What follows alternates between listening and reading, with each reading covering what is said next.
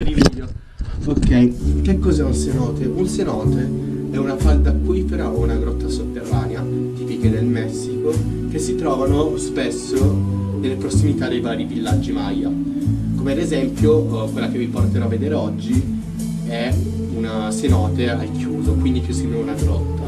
La figata di queste grotte, falde acquifere, come le vogliamo chiamare, e che tralasciando il fatto che sono tutte collegate attraverso dei tunnel dei canali naturali, hanno un'acqua stupenda, tutta acqua dolce soprattutto sono molto profondi, sto parlando 80-90 metri sotto l'acqua.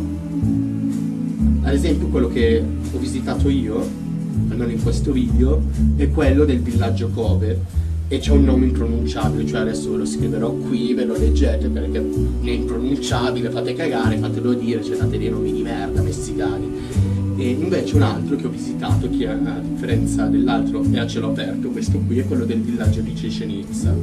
Per chi non lo sapesse, Chichen Itza è il villaggio Maya con la piramide più famosa del mondo, cioè è una delle sette meraviglie del mondo, se non sapete ve la lascio qui.